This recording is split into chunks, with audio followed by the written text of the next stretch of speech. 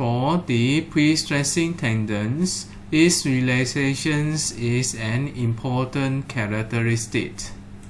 The relaxation of steel is defined as the loss of the stress in steel held at a constant length. The amount of relaxations varies depending on the types and grade of the steel, the time and intensity of the stress, and also the curing temperature. It is more significantly affected by the time and intensity of the stress. There are three classes of relaxations. The class 1 is for the wire or strand with ordinary relaxations, which is about 7%. Class 2 is the wire or strand of low relaxations, about 2.5%. And class 3 is for the hot roll and process bar with the relaxations of about 4%. These are the standard steel relaxations conditions, which is used to represent the characteristic in terms of the steel relaxations. It is also as the standard conditions for the testing of the steel relaxations in defining it.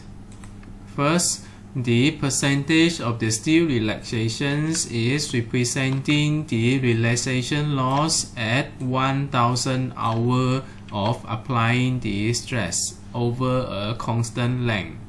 And the stress of the tensioning is at 0.7 the tensile strength under a mean temperatures of 20 degrees Celsius. The losses of the relaxations are given by the equation here in accordance to their classes. The rho here represent the percentage of relaxation loss at 1000 hours stressing. The mu here is given by the equation here, which is the stress in tendon divided by its FPK. And the T here represent the time after tensioning. And the long-term steel relaxations is referring to 0.5 million hours after stressing.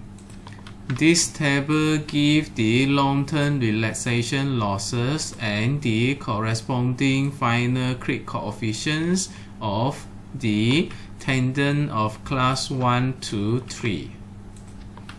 The mu here, which is the stress in tendon divided by its FPK, can range between 0.6 to 0.8 and the percentage of losses due to the relaxations and also creep coefficients are given here.